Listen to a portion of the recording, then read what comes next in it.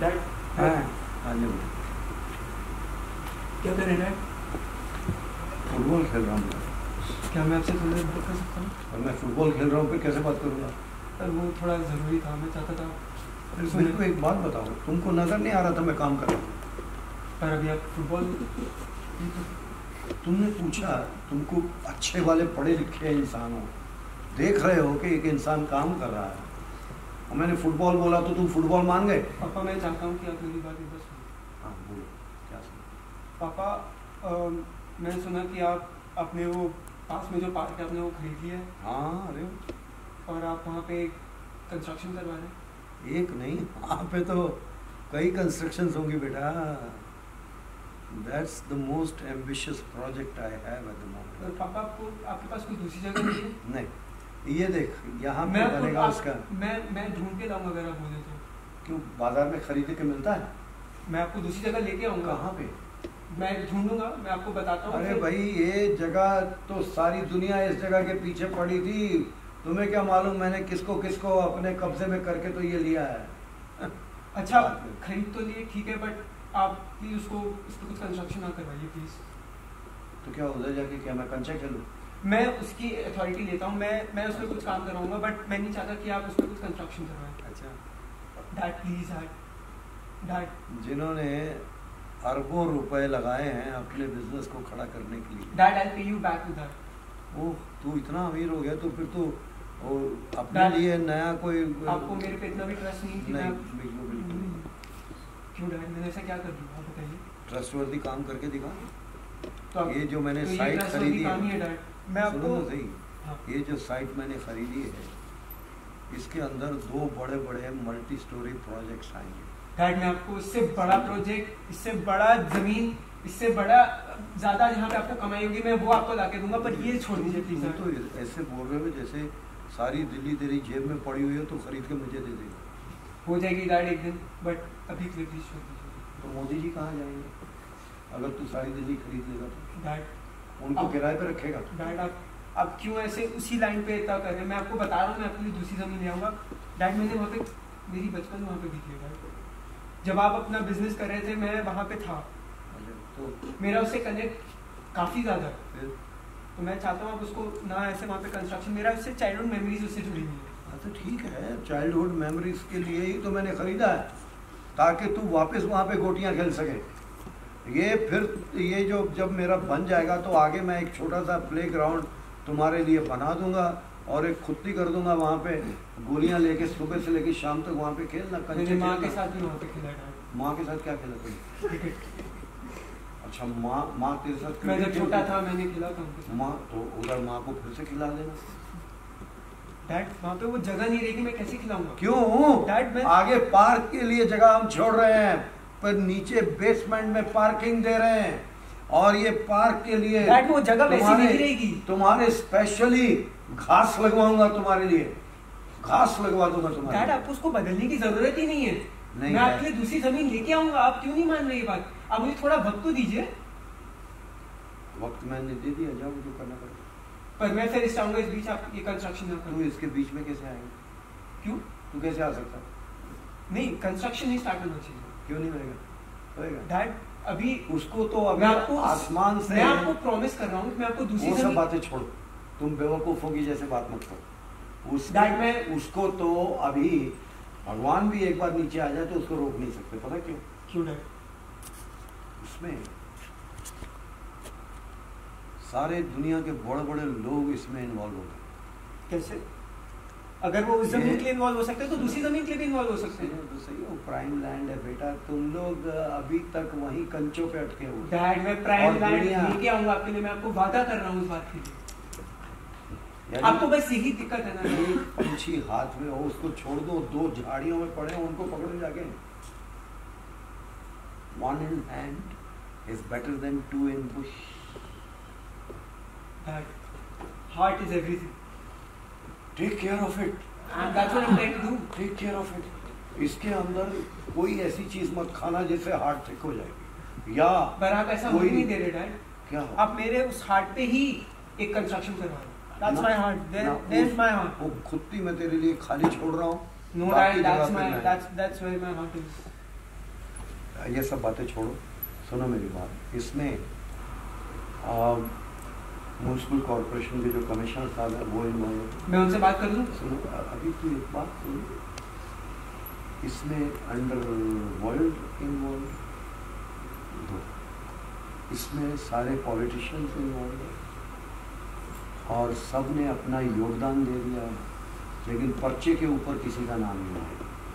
पर्चे में सिर्फ़ तेरे बाप का नाम रहेगा। अगर इनमें से जो जो मरते जाएँगे वो हमारे नाम करते जाएँगे। सुनो। अभी ध्यान से सुनो। इनमें से जितने टावर 26 26 फ्लोर के टावर्स दो बन रहे हैं। ट्वेंटी सिक्स फ्लोर जो पेंट हाउस होगा, एक में हमारा होगा, एक में मालूम है किसका होगा? किसका? ध्यान से सोच के बोल, दिल्ली में कौन इस वक्त राज कर रहा? डैड मुझे नहीं जानना दिल्ली का राजा कौन है इस वक्त? वो बता मुझको नहीं कोई शौक नहीं समझ आने का ये सब कि कौन क्या राजा है मैं उनसे बात कराऊँगा अगर आप बोले तो। मैं बात करके आऊँगा। दूसरी ज़मीन मैं ये नहीं कह रहा हूँ कि आपका बिज़नेस बंद करवा रहा हूँ। आपका बिज़नेस भी हैंड इन हैंड रहेगा। दैट्स फाइन और आपकी दूसरी ज़मीन और मेरे मेरी भी खुशी रहेगी। My heart is there try understand मैं एक काम करता हूँ तुम्हारे ये कंचे खेलने के लिए और और फुटबॉल खेलने के लिए और क्रिकेट खेलने के लिए एक गार्डन- और भी बच्चे गार्डन ले जाता हूँ। डैड वहाँ पे और भी बच्चे हैं और भी कई लोग हैं जो वहाँ पे रहते हैं जिनका वहाँ पे उनसे जुड़ाव है उस ज़मीन से। डैड प्लीज़ एक बात सुनो। ये सारे बच्चे मिलकर इतने बड़े बड़े भवन बना सकते हैं। तो उसका मतलब उनके सपने तोड़ दे? क्या सपने हैं उनके? वो तो जो उस पार्क में खेलते हैं वो सड़क पे भी खेल सकते हैं। हमारे देश में करोड़ों करोड़ों बच्चे सड़क पे ही खेलते हैं। किसी के पास कोई तो उसका नहीं मतलब है है कि उनको भी सड़क पे डाल दे? मैं सड़क पे कहाँ डालूं? गरीब लोग भी हैं तो उनको भी मैं गरीब गरीबों में फेंक दूँ? एक बात बताओ गरीब लोगों को कोई घर बना के देता है? हम लोग जब ये बस्ती लेते हैं तो उनको रिहेबिलिटेट करके देते हैं बेटा सुनो ध्यान से। इमोशनल होके बात है ही नहीं। पहले बात सुनो। बेटा इमोशनल होके कभी कोई फैसले नहीं होते। हमेशा याद रखो बड़े बड़े फैसले जो होते हैं ऑब्जेक्टिविटी से होते हैं सब्जेक्टिविटी से नहीं मैं इसी सब्जेक्टिविटी के लिए कह रहा हूँ। मैं मैं ये नहीं कह रहा हूँ कि आप उनको आप अपना बिज़नेस बंद करिए। मैं आपकी ऑब्जेक्टिव वे में ही बोल रहा हूँ। मैं आपको ये कह रहा हूँ कि मैं आपका बिज़नेस बंद नहीं होने दूँगा। आपका जो भी प्रोफेशन है उस पर कोई इफ़ेक्ट नहीं होगा। बेटा तू एक बात समझ ही नहीं रहा है किसी चीज़ को समझ नहीं रहा है। इससे बड़ा प्रोजेक्ट दिल्ली में बनाना इम्पॉसिबल है। पहले सोच ध्यान से।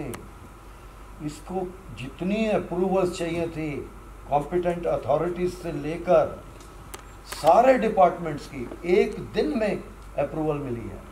एक दिन में आज तक कभी किसी को अप्रूवल नहीं मिली। अगर आज मैं तेरे को ध्यान से सुन ले, मैं बता रहा हूँ। अगर ये प्रोजेक्ट मैं नहीं उठाता तो हमारा जो राइवल है उसकी गोद में चला जाता है ये प्रोजेक्ट कोई तो बनाएगा। अब इसके ऊपर जो गिद्ध मंडरा रहे हैं ना हमारे देश में पहले सुन ले। जो गीत मंडरा रहे हैं ना हमारे देश के ऊपर ये सारे गीतों की उसके ऊपर नज़र है। उसमें से उनको अरबों रुपए मिलने वाले वो छोड़ने वाले नहीं। तेरा बाप हो कि कोई और हो वो बनाएँगे। ये अप्रूवल एक दिन में जो सेंक्शन हुई है ये दूसरे के नाम पे ट्रांसफ़र हो सकती है। उन्होंने हमारे से लिखवा के ले लिया है। अगर हम नहीं बनाते तो हमारा बाप कोई बनाएगा। क्योंकि इसके अंदर इतने वर्ड शामिल हैं कि तुम सोच भी नहीं सकते बेटा अभी तो तुम तुमको ये मालूम ही नहीं है कि तुम जिन कारों में घूमते हो जिन महलों में रहते हो उसके पीछे कीमत क्या लगी हुई है? अभी तक कुछ नहीं मालूम है बेटा. बचपन? उन बच्चों का बचपन? किन लोगों को बचपन? जो वहाँ पे खेलते हैं उस मैदान वो कहीं और खेलेंगे। और लेकिन ये भवन तो वहीं पर बनेंगे। डैड आप अपने बिज़नेस के इतना इतना ज़्यादा क्रूअल हो सकते हैं। Seriously dad you talking to your father dad I didn't say anything bad ना ना क्रूअल का मतलब क्या होता है? क्रूअल मतलब? हिंदी में ज़रा विस्तार पूर्वक बताओ। केवल क्रूअल का मतलब बताओ क्या है? Dad, please, sir. Okay, forgive me for this. I'm sorry. I didn't need it. I didn't need it, Dad. I'm really sorry. try and understand. I'm really sorry for this, but इस, इस विषय के ऊपर जो बात होनी थी बेटा वो हो चुकी तुमको बच्चों के लिए उनकी भलाई के लिए अगर कुछ काम करना है दिल्ली में और इतने पार्क हैं वो उसके ऊपर नज़र करो और वो बच्चों की वैन भर के या एक बस में तुम्हें हायर करके दे देता हूँ रोज़ शाम को चार बजे उन बच्चों को उस बस में बिठाओ उस पार्क में ले जाओ उनको खिलाओ। सुनो मेरी बात बेटा मेरे पास हर चीज़ का इलाज है लेकिन मूर्खता का इलाज कोई नहीं है। आप मेरे को भी मौका दीजिए। एक चांस दीजिए प्लीज़ कुर्सी ले लो बेटा कुर्सी ले लो। एक चांस सीरियसली एक चांस दीजिए। मैं आपको इससे बेटर लोकेशन जो ज़्यादा डिमांड में होगी I promise I find out एक काम करता हूँ। अच्छा एक बार आप देख लीजिए। अगर आपको लगता है कि वो प्राइम नहीं और वो प्राइम मेरे बेटे एक बात सुन। मैं काम करता हूँ।